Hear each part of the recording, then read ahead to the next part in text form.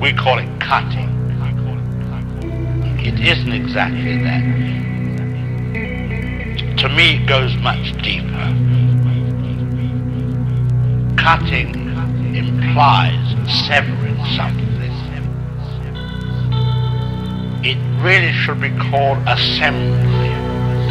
Mosaic is assembling something to create a whole, create an idea.